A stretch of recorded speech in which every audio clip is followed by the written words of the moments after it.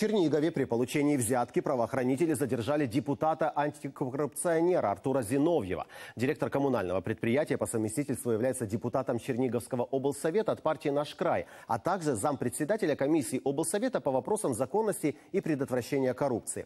Об этом в Фейсбуке сообщил генпрокурор Юрий Луценко. По его словам, депутата задержали на горячем при получении второй части взятки в размере 5000 гривен от предпринимателя. Зиновьев обещал ему помощь в заключении договора аренды помещения помещения. Сейчас проводятся обыски в помещении коммунального предприятия Черниговского облсовета.